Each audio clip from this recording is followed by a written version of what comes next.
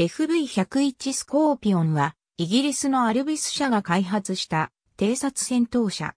CVR ファミリーの短所を切って、1972年よりイギリス陸軍への引き渡しが開始された。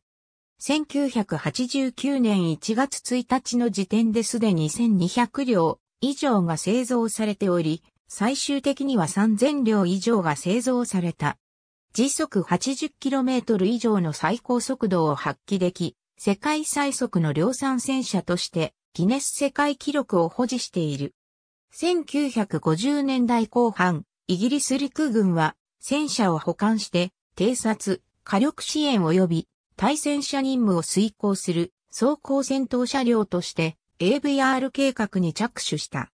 これに応じて1960年代前半、戦闘車両研究開発部は、総輪式の CVR と早期式の CVR を策定した。その後、試作が繰り返され、1970年5月、アルビス社が2000両の生産契約を受注した。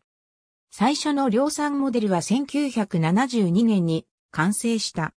輸送などを考慮した小型、軽量の戦車であり、装甲はアルミニウムで前面は 14.5mm 弾、それ以外は 7.62mm 弾に耐えられるように設計されている。回転砲塔に搭載された 76mm 砲は FV601 サラディン装甲車の搭載砲 L5A1 の軽量化モデルである。1980年代には輸出向けに手法を国家リル 90mm 低圧砲に変更したスコーピオン90が開発された。火力は向上したが、重量増加のため機動性は若干低下している。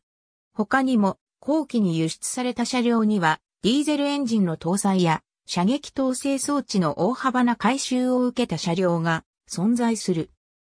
1982年のフォークランド紛争に投入された後、1988年には他の CVR シリーズと同様、耐用年数延長プログラムによりジャガー J64.2 リットルガソリンエンジンからカミンズ製 BTA5.9 リットルディーゼルエンジンへの換装が行われた。その後、1991年の湾岸戦争でも実戦で使用された。イギリス陸軍では1994年に全車退役した。しかし海外ではまだ現役で使用されているところがある。運用国。ありがとうございます。